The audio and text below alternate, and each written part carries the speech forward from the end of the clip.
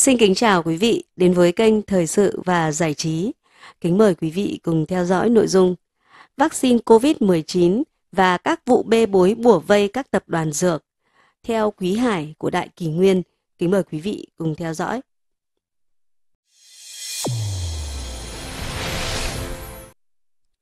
Lịch sử đáng lo ngại của các tập đoàn dược đang chào bán các loại vaccine COVID hiện nay có thể tạo nên rào cản tâm lý đối với nhiều người.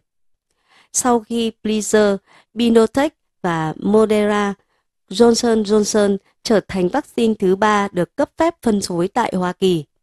Sau khi được thông qua, các cuộc tranh cãi nhanh chóng nổ ra khi Hội đồng Giám mục Công giáo Hoa Kỳ và các giáo phận khác trên toàn nước Mỹ đã đưa ra các tuyên bố bày tỏ quan ngại đạo đức đối với vaccine do việc bào chế sử dụng các tế bào được nuôi cấy trong phòng thí nghiệm mà khởi nguồn đó là các tế bào được thu thập vào những năm 1980 từ mô của bào thai bị phá bỏ. Mặc dù mô bào thai có thể là mối quan tâm chính đáng của nhiều người, nhưng nó cũng khá phổ biến trong các loại vaccine khác. Và Johnson Johnson cũng cho chúng ta nhiều lý do để hoài nghi về sản phẩm của họ. Trong nhiều thập kỷ, Johnson Johnson đã biết rằng bột trẻ em của họ bị nhiễm chất amiang gây ung thư, nhưng họ đã bí mật giấu thông tin trước các cơ quan quản lý và công chúng.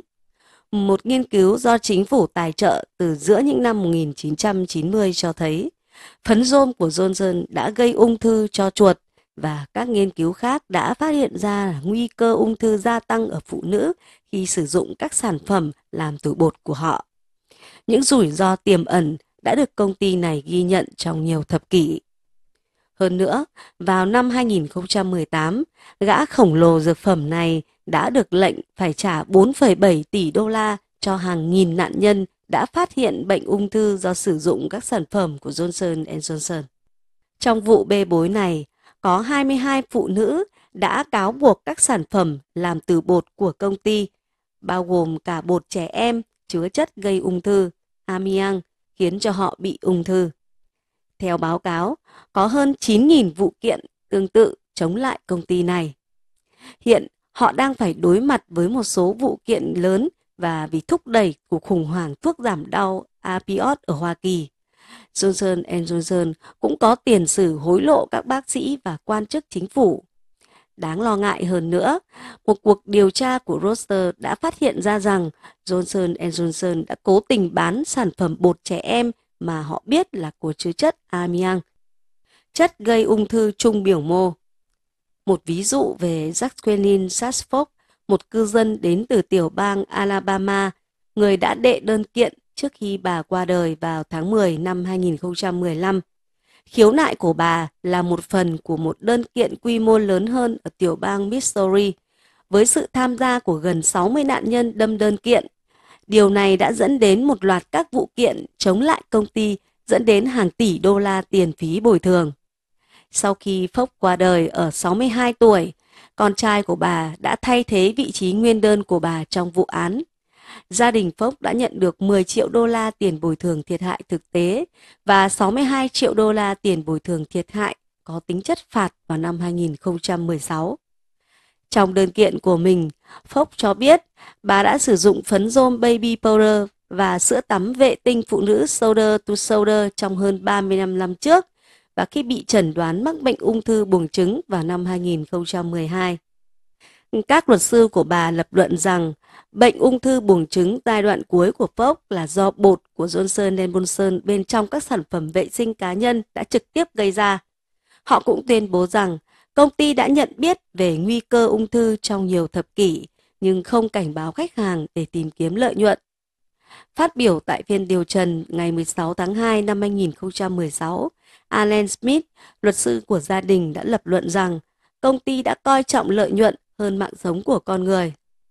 Các cáo buộc về tình trạng hủ bại của tập đoàn này cũng không chỉ dừng lại ở lĩnh vực bột phấn rôm trẻ em.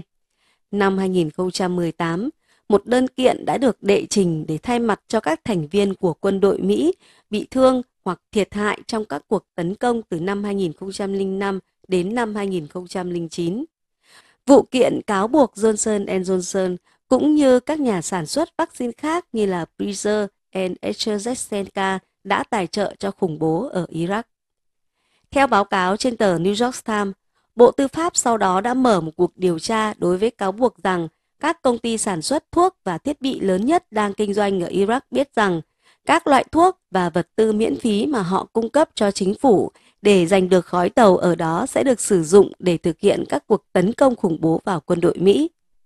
Trên thực tế, không ai nói rằng vaccine sẽ làm tổn thương cho một lượng lớn người hoặc vaccine sẽ không có lợi trong việc phòng ngừa virus.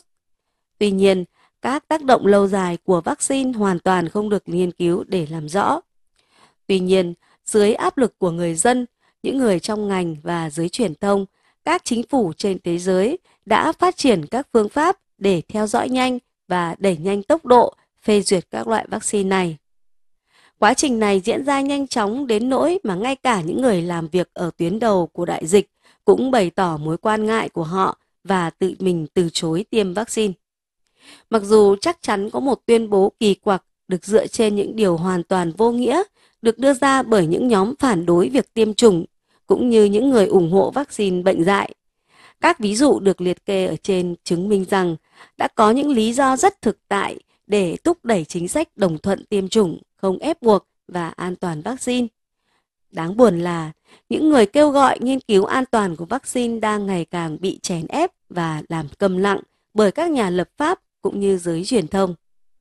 Chủ nghĩa hoài nghi không nguy hiểm như các phương tiện truyền thông tô vẽ, điều cần thiết là phải sản xuất được một sản phẩm an toàn. Nhưng cả Johnson Johnson hay Pfizer đều có lịch sử đáng ngờ về các quy trình vận hành và đi ngược lại sự an toàn. Năm 2000, tờ Bưu điện Washington đã đăng một bài cáo buộc Pfizer đã thử nghiệm một loại kháng sinh mới và nguy hiểm có tên là Chovan trên trẻ em ở Nigeria. Và khi nhận được sự đồng ý thích hợp của cha mẹ chúng, thí nghiệm được tiến hành trong trận dịch viêm màng não năm 1996 ở nước này. Năm 2001, Pfizer đã bị kiện lên tòa án liên bang Hoa Kỳ bởi 30 gia đình Nigeria. Họ cáo buộc công ty đã sử dụng con cái của họ như là một chuột bạch. Năm 2006, một hội đồng gồm các chuyên gia y tế Nigeria đã kết luận rằng Pfizer đã vi phạm luật pháp quốc tế. Năm 2009, công ty đã đồng ý trả 75 triệu đô la để dàn xếp một số vụ kiện đã được đưa ra tòa án. Và vụ kiện của Hoa Kỳ đã được giải quyết vào năm 2011, nhưng khoản tiền bồi thường không được tiết lộ. Các bức điện tín tuyệt mật của Bộ Ngoại giao Hoa Kỳ được Wikileaks công bố vào năm 2010 chỉ ra rằng Pritzker đã thuê các nhà điều tra để đào bới các vấn đề quá khứ của cựu Tổng trưởng lý Nigeria như một cách thức để mà giành được lợi thế trong những vụ kiện còn lại. Pritzker đã phải xin lỗi thông qua tiết lộ từ các bức điện tín rằng họ đã tuyên bố sai sự thật, khi nói rằng nhóm bác sĩ không biên giới cũng đang phân phát thứ kháng sinh nguy hiểm Jovan trong trận dịch viêm màng não ở Nigeria. Năm 2011, Johnson Johnson đã đồng ý trả 70 triệu đô la để dàn xếp các cáo buộc dân sự và hình sự trong vụ kiện hối lộ các bác sĩ ở châu Âu và chi tiền lót tay cho chính phủ Iraq để hoạt động kinh doanh trái phép. Liệu chúng ta có nên quên lãng hồ sơ lý lịch dính chàm bao gồm các vụ đánh lừa các cơ quan quản lý về mối nguy hiểm của sản phẩm của họ và cố ý góp phần vào cái chết của hơn 125 người? Hay việc họ đã thử nghiệm phi pháp trên trẻ em? Hay việc họ đã trả hàng trăm triệu đô la dàn xếp các vụ kiện hình sự đằng sau cái chết của nhiều bệnh nhân? Thực tế là các công ty này có hồ sơ lý lịch bao gồm hối lộ các quan chức chính phủ để thử nghiệm bất hợp pháp các sản phẩm trên trẻ em, để đưa ra tuyên bố sai lệch về ma túy và tiếp thị chúng một cách bất hợp pháp. Các công ty này bao gồm Johnson Johnson với tổng số tiền phạt tính đến hiện nay là 4,2 tỷ đô la, AstraZeneca 1,1 tỷ đô la, GlaxoSmithKline 4,4 tỷ đô la và Sanofi 641 triệu đô la. Đây đều là những công ty đang cung cấp vaccine COVID-19.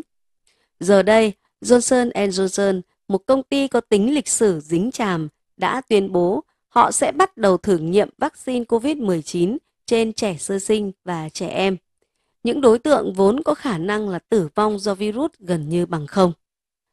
Kính thưa quý vị, vừa rồi là nội dung vaccine COVID-19 và các vụ bê bối bủa vây các tập đoàn dược theo Quý Hải của Đại Quỷ Nguyên. Đến đây là kết thúc. Xin trân trọng cảm ơn quý vị đã theo dõi. Xin kính chào tạm biệt và hẹn gặp lại quý vị ở những nội dung sau.